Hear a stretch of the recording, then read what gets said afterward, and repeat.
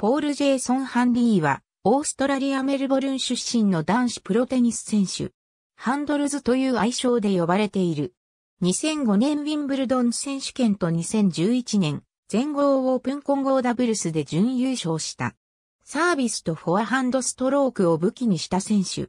身長183センチメートル、体重76キログラム、右利き。ハンリーは普段からダブルスのスペシャリストとして活動し、4大大会の男子シングルスには一度も出場記録がない。ATP ツアーでダブルス26勝を挙げた。ダブルスの自己最高ランキングは5位。彼が息を合わせてきたダブルスパートナーには同じオーストラリアのウェイン・アーサーズやケビン・ウリエットなどがいる。ハンリーは両親がテニスセンターの経営者という家庭に生まれ育ち、早くからテニスに親しんだ。1997年に20歳でプロ転向。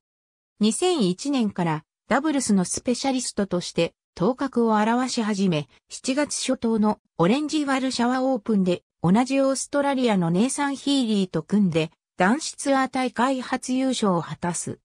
この年はヒーリーとのペアでジャパンオープンテニス選手権男子ダブルス準優勝もあり、ハンリーとヒーリーは決勝でリックリーチ、デビッド・マクファーソン組に6から1、6から7、6から7の逆転で敗れた。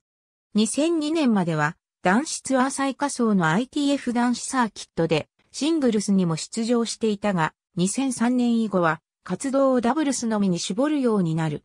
2002年全仏オープン男子ダブルスで、ハンディは同じオーストラリアのウェイン・アーサーズと組んでベスト8に入った。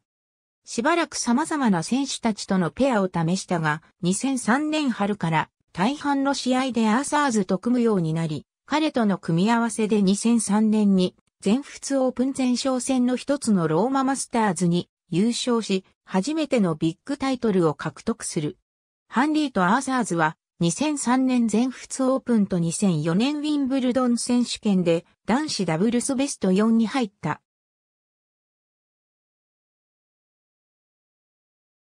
2005年ウィンブルドン選手権混合ダブルスでハンディーはタチアナ・ペレビニスと組んだ。二人は決勝戦でマフェシュブパシ、マリー・ピエルス組に4から6、2から6のストレートで敗れ、優勝のチャンスを逃した。2005年の男子ツアー年間最終戦テニス、マスターズカップの予選敗退を最後に、ハンディとアーサーズはペアを解消した。アーサーズとのペア解消後、ハンディは2年間ケビン・ウリエットと組んだ。ハンディとウリエットの組は2006年2007年の2年連続で全豪オープンと全米オープンの男子ダブルスベスト4に入ったが、4度とも決勝進出のチャンスを活かせなかった。2006年からハンディは男子テニス国別対抗戦デビスカップオーストラリア代表選手を務め、これまでにシングルス0勝2敗、ダブルス8勝2敗の成績を上げている。ハンディは2009年と2010年はシーモンやスペリンと2011年からはルーカス・ドローヒーやジェイミー・マリー、エリック・ブトラックらとペアを組んでいる。2011年全豪オープン混合ダブルスではセンエーゼンとペアを組んで決勝に進出した。決勝では、ダニエル・ネスター、カタリナ・スレボトニック組に3-6、6-3、7-10で敗れ準優勝となった。ハンリーは2014年7月のクロアチアオープンが最後の出場になり36歳で現役を引退した。ありがとうございます。